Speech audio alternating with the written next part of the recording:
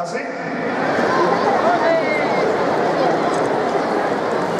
Bueno, bueno, bueno, bueno, bueno. bueno. Ese aplauso para esta, este final de Morena. Estos últimos compases. Ea. Y salirse airoso de la suerte, maestro. Sí. Cuando, te- cuando terminéis de pegar el último pase, no salgáis como si hubierais marcado un gol. Hay que salir tranquilito y sentido. Toreando, hay que salir toreando también. Pues esto que hemos hecho sería la última tanda antes de matar el toro, de coger la espada de verdad.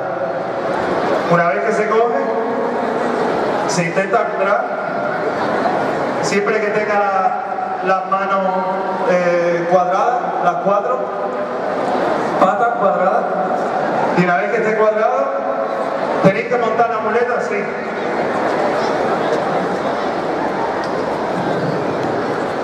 Bueno. A mí lo de entrar a Maratán, maestro, me parece dificilísimo. Sí, a mí también. Sí, también. Bueno, pues mañana no le puede parecer difícil, ¿eh? Porque muchos de estos niños van a estar aquí yéndole y deseando pues que, que triunfe, como el resto de... de Venga, vamos a hacerlo con la mano. Todos con la mano. Os ponéis así, con la derecha. La otra derecha. La otra derecha.